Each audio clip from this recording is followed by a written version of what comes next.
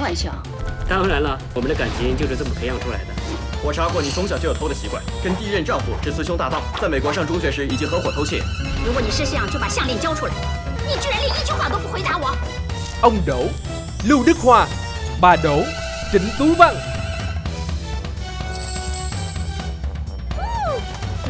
Đón xem phim Long Phụng Đấu trong yêu Cine vào 21 giờ tối nay trên Channel V